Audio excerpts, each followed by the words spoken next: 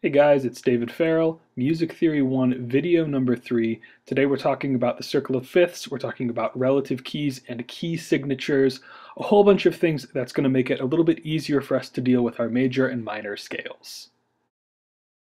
We talked about major and minor scales in our last video. A couple of major scales here, the E flat major scale and the A major scale written out here. We know they're major scales because they have that interval pattern we've talked about, whole, whole, half, whole, whole, whole, half. You can see them written out here with all their accidentals, E flat with all its flats, and A with all its sharps. But one thing that we might uh, see pretty commonly in music is that musicians don't want to take the time to write out all these accidentals. One of the big themes of music theory is that musicians are lazy and that they're trying to save time. And so oftentimes you won't see the scales written out this way. What you will see is something like what we see here on the bottom two staves. Instead of having the accidentals all written in the music, you can see we've got them grouped at the very front of our staff on the far left side. And so our E flat major scale has that cluster of three flats, and they're the three flats that we saw in the scale, B flat, E flat, and A flat.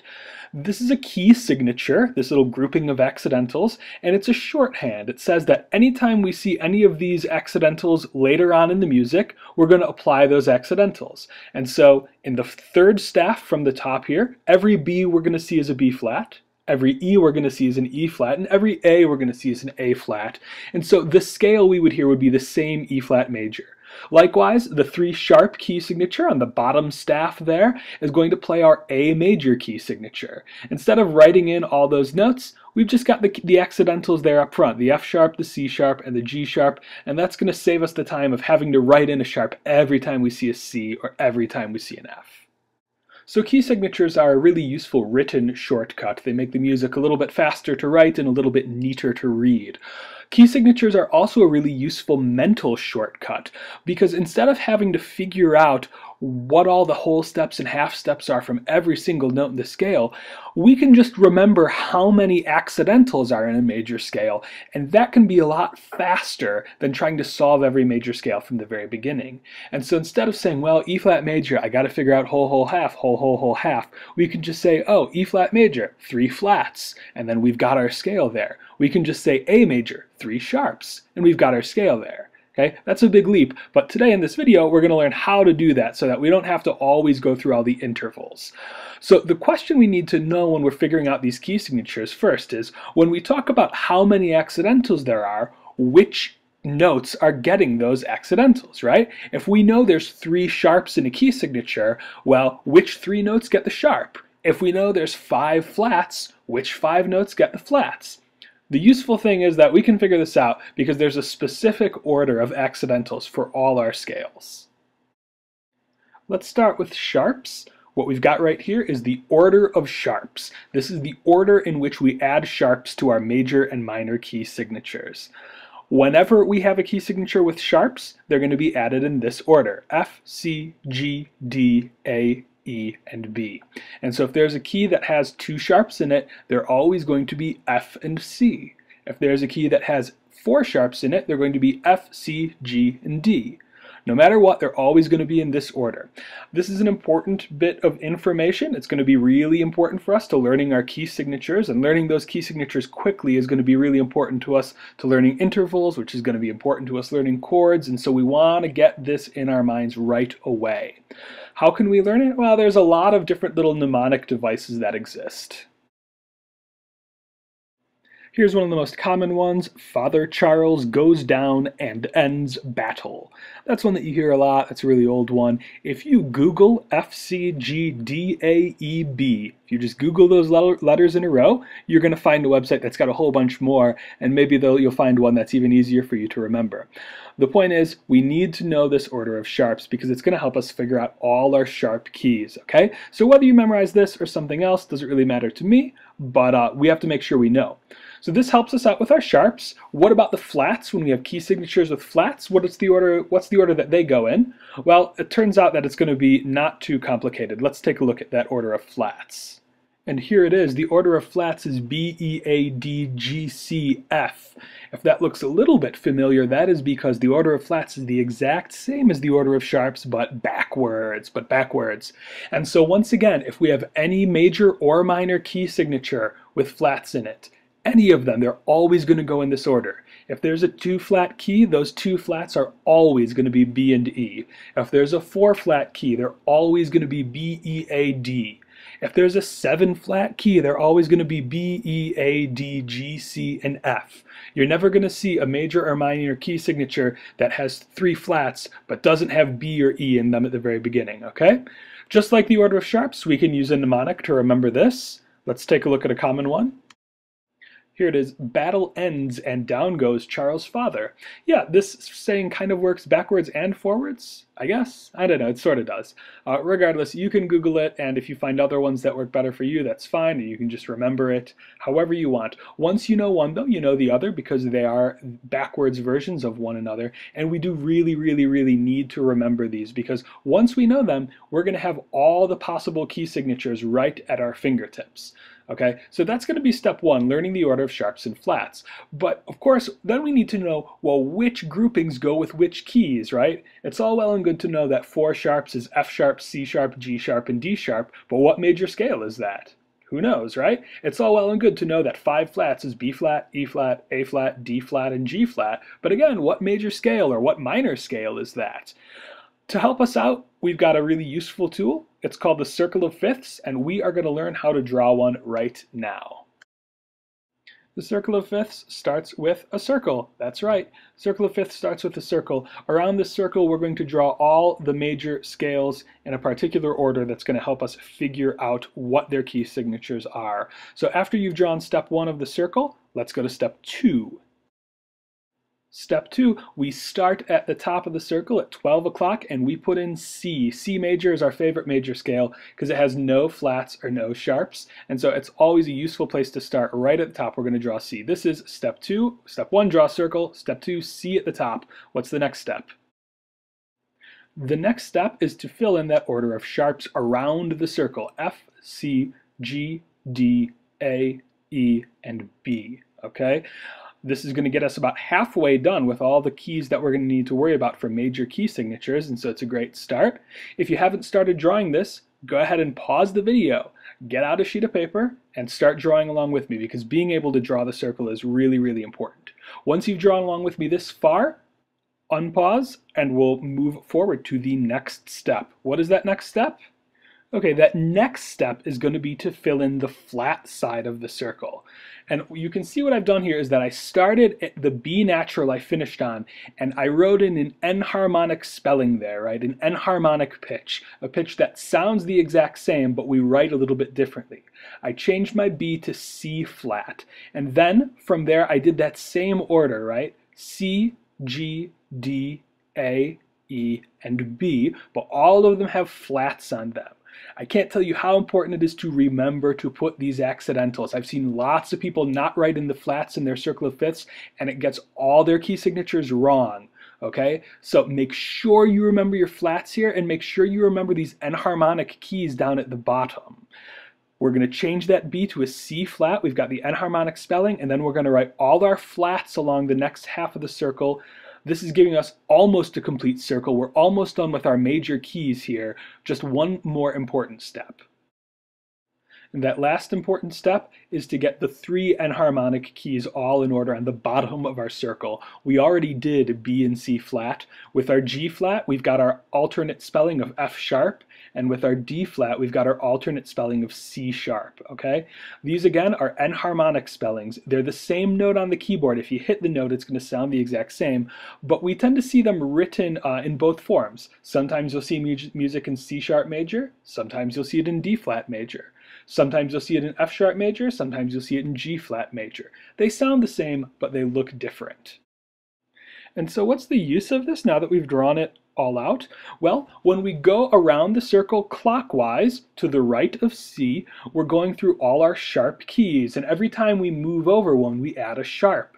And so when we move from C to G, that key has one sharp, and the order of sharps tell us it's going to be F.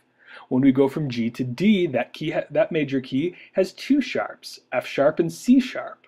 When I go around four slots to E, then it has four sharps. And again, the order of sharps tells me they're F, C, G, and D. And it works the same way with flats. If I go to the left, so if I go one to the left to F major, I know there's one flat and it's going to be B flat. The order of flats tells me which flat it is. If I go three notches to the left, I'll get to E flat major. And I know that key has three flats. And the order tells me that they're B flat, E flat, and A flat. When we get to the bottom, we do have to pay attention to which way we, we went to figure out what the key signatures are, right? D flat and G flat and C flat are flat keys. We get there by going left. And so D flat has five flats. G flat has six flats and C flat has seven flats. The other keys, the enharmonic spellings of B, F sharp and C sharp are sharp keys. And so B is going to have five sharps, F sharp is going to have six sharps, and C sharp is going to have seven sharps. We don't want to mess around with that. We don't want to think that D flat has seven sharps or that G flat has six sharps, right? They have flats in the name, and so that's a pretty good clue that they're flat keys. But do make sure when you're on the bottom there, you spend a little bit of extra time making sure you know what which key you're looking at. So this is really useful for our major keys on the outside, but you can see I've added a little guy in the middle, and that's because we can also use our circle of fifths to help us deal with our minor keys, okay? Minor keys have the same key signatures as major keys. We don't have to learn any new order of flats and sharps. All the key signatures that we learn for major, they apply to minor too these key signatures specifically are going to be used for the natural minor version of our scales. We remember that minor has a lot of different forms. It has that natural form, but it also has harmonic and melodic. And so music in the minor key often is going to have a lot of accidentals anyways, because we're going to need those to show those other versions of the scale. But the key signature is always going to go with the natural minor form of the scale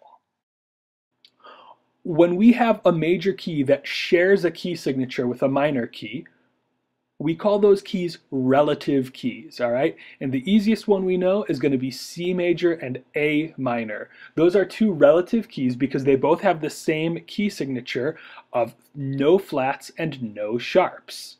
If we look at our circle, we see we moved that A three spots to the left from its major key place to put it into its minor key place, right? And this makes sense. If we remember from some of our earlier talks, we remember that we had to change three notes in our major scale to turn it into a minor scale. And so if we want to add our relative minor keys to our circle of fifths, and we do want to do that, we want to know what our minor key signatures are, then what we need to do is rotate all of our major key spots three spaces counterclockwise, and that's going to put them next to their relative major key. Okay, let's look at how we can do this for all our key signatures without any accidentals. Okay, that's a whole bunch of them that I just wrote in. We can look where E major was on our circle of fifths. We see it down there in the lower right hand corner. And I rotated it three spots counterclockwise. I moved E major to A, then to D, and then I landed on G. And that's going to be where the relative key of G major is. E minor and G major are relative keys. They both have one sharp. We already talked about A minor, moving it three slots over so that it matches up with C. We can take D and rotate it three spots with F. D minor and F major are relative keys. They both have three flats. G rotates three spots to go with B flat major. C rotates three spots. C minor and E flat major are relative keys and F rotates three spots. F minor and A flat major are relative keys. They both have four flats. Let's keep rotating our keys and fill in some more of the blank spots with our minor keys in the circle of fifths. The bottom three keys are going to have the same treatment that they had with our major keys here. When I rotate B flat three spots, I know B flat is a relative key to D flat major. But I want to have an enharmonic spelling of that available. Just like C sharp and D flat are enharmonic, B flat and A sharp are enharmonic keys. And so A sharp minor and C sharp major have the same key signature, so do B flat minor and D flat major. Same goes for E flat minor and G flat major and their enharmonic equivalents, D sharp minor and F sharp major. And the same goes for A flat minor and C flat major and their enharmonic equivalents, G sharp minor and B major. Let's rotate the last couple guys around this circle of fifths and then we'll finish off our minor keys here. Here we have finished off our circle by rotating the last three keys to some of our sharp minor keys. C sharp rotates three spots around to E major. I left off that D flat major because we don't see that as a minor key very often. D flat minor we don't see terribly often, but C sharp we do. F sharp rotated around. F sharp is the relative minor of A major, and B minor the relative minor of D major. Okay, this is our complete circle of fifths with major and relative minor keys. This diagram shows us every major and minor key signature that we need to know. Once we can draw it, we have access to all of them, and it's going to be very, very, very useful for us to be able to do so. I've drawn a million circle of fifths. It's unbelievably helpful in music theory because knowing these key signatures is essential to moving forward with understanding music, okay? So practice drawing your circle of fifths. Watch through the, these portions of the video again if you need to, if you're unsure, but get yourself used to drawing it. When we have quizzes or exams, this should be the first thing that you draw because it's going to unlock all the information that you need to get yourself started with understanding major and minor keys. That's all for our video today. Video three, we talked about how to draw the circle of fifths and how to use it to figure out key signatures. The circle of fifths, again, I can't stress how important a tool it's going to be for us.